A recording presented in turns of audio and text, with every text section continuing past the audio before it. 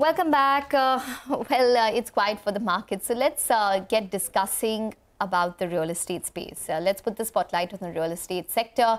According to property consultant Knight Frank India, there is a significant surge in the office space transactions across the top eight markets in India. Home sales have also surged by 9% year on year. To discuss this and more, we have Gulam Zia, who's the Senior Executive Director at Knight Frank, who joins in. Uh, Gulam, hi, welcome to the show. Well, you just came out with this report, India Real Estate, the Office and the Residential Report for the Jan to March quarter. And that's indicated that there's been a significant surge in office space transactions across the top eight markets, uh, marking, I think, around a 43% year on year growth, uh, if I'm not mistaken. Uh, that's quite significant for the office space um, segment. Do you think that uh, that's probably because of a low base, or is this trend here to stay? Uh, thank you so much for uh, inviting us to talk about this report we have released just a short while back and focusing on commercial market. Yes, uh, uh, uh, the trend has been the growth in last couple of years. In fact, after COVID, at least a year or so, there were serious concerns on how office market is going to look forward after the work from homes, etc. But last year, we saw one of the best uh, uh office market absorption, which was uh, the last calendar year, almost touching the pre-COVID levels. And this quarter is the highest quarter historically, with about 16 plus million square feet of office space absorbed in just one quarter. And especially quarter one is normally not as uh, uh, good as the rest of the quarters, but this quarter itself has given the best of the performance. So overall, while growth is happening, Indian economy is growing, Indian facing businesses are growing, GCCs are growing. So we don't see any reason why this year would not be historic best, much better than what we have seen last year or even for that matter, pre-COVID. So we are geared up for a year which would be historically best absor absorption numbers for office space. Right, so that's about the office space. I'm looking at all the other numbers that have come by as well for the first quarter. Residential not doing too bad as well. 9% growth is what we've seen in the first quarter. But out here, what's interesting is that on an average, the growth has been a lot higher. It's been uh, skewed downwards by Bangalore. I'm looking at Mumbai's 17% growth in the first quarter. Um, we have a 14% growth in Pune, 15% growth in Hyderabad. Chennai too has grown in high single digits. The only two uh, geographies which have lowered the overall average, one is NCR, which has grown at just 1%, and the other one is Bengaluru, which has fallen by 2%. Can you tell us what happened here? Because there was no uh, dearth of launches here either. Well, let me start with NCR. In NCR, something else which is also there in those numbers that you are right now talking about. In NCR, the upper end of the market has doing exceptionally well. We're talking about uh, uh, you know one crore plus kind of transactions that we are tracking. About 66% of the transactions in NCR in the upper end, which meant that the lower end has not been performing. So when we look at uh, the lowest end, I'm talking about below 50 lakh kind of a ticket size, is one segment which has been suffering big time for various reasons, supply side concerns as well as demand side concerns. And if that had to perform, you know, there was no reason for uh, NCR also to do as good as the rest of them. So the here, simple as far as NCR is concerned, the premium market is absolutely going berserk. Large number of transactions are happening, but it's not good for the overall volume. That's on as far as the NCR is concerned. Now, Bangalore, 2% of a reduction, I would once again say, let's not read too much into it. I would rather wait mm. and watch for a certain longish period because, uh, you know, uh, long-term weighted average numbers are ruling averages about what we would look at. A 2% blip is not something which I would be too unduly worried about. Why? While a lot of them are trying to connect it to the water situation on ground, etc. But I would say hold back. It's not something to right now write off that city for. Okay. What is your expectation in terms of growth in the residential market going into the remaining part of this year or FY25? Do you expect it to be as buoyant as FY24 or do you see any kind of headwinds? Well, uh, some the only concern I would talk about is uh, the election.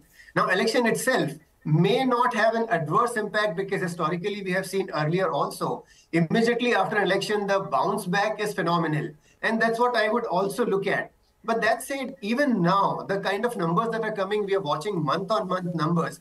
Like in case of Mumbai, we saw registration numbers were outstanding with almost about, uh, you know, uh, 90 odd thousand apartments, sorry, 16 odd thousand apartments sold, etc. These are numbers which are perhaps month on month uh, uh, improving.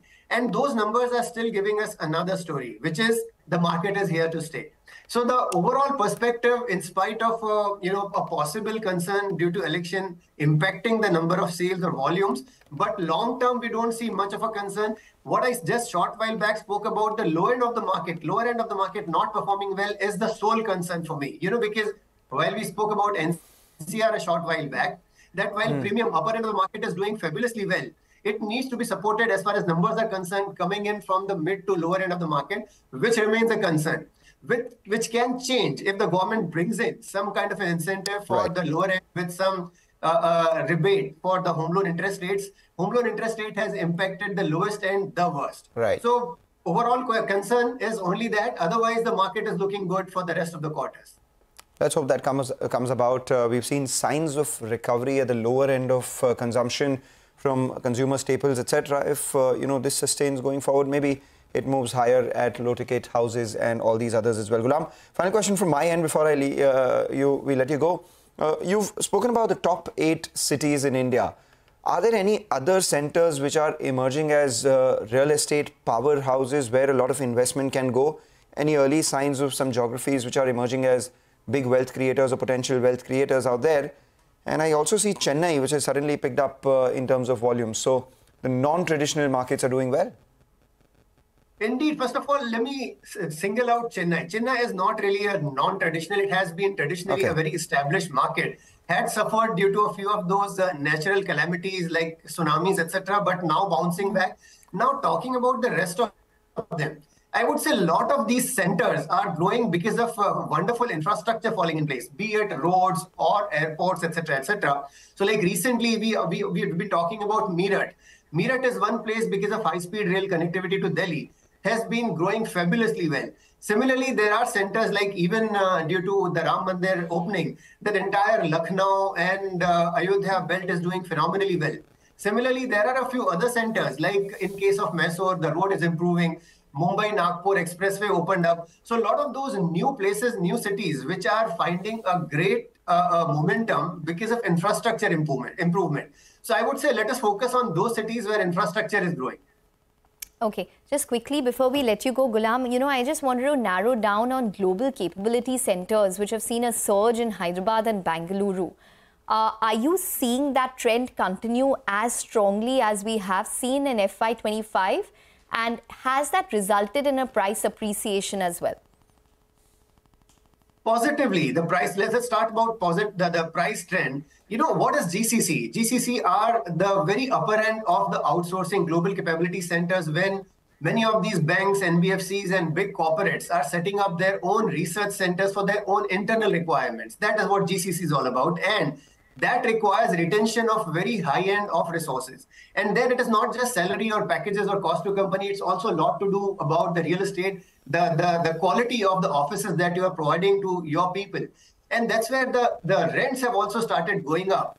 The gccs and then about regions bangalore and hyderabad you have best of the resources to do high-end research and that's where it is starting but it is obviously spreading into other cities like chennai pune. Even pune is getting a lot of focus from gcc so rest of the the cities of the country will also not lag behind but as you rightly said started with hyderabad uh, we started with bangalore now in chennai uh, uh, in hyderabad. So this is something which will give an impact on overall price improvement as well. The rental rise also will happen because of gcc spread in times to come Okay, all right, uh, Gulam, uh, we're going to let you go on that note. Thanks very much for joining in and speaking with us and talking about the real estate market and also giving us details about the office market, uh, which we generally don't talk about as much.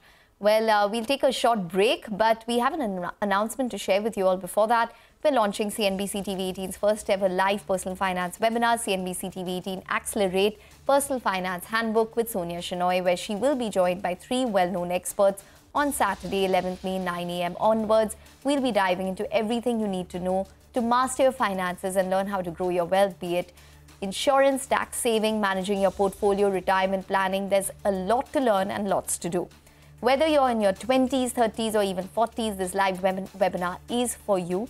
We have limited seats, so don't miss this chance. Register now. Scan the QR code to register or log on to cnbctv18.com and we'll see you on the 11th of May.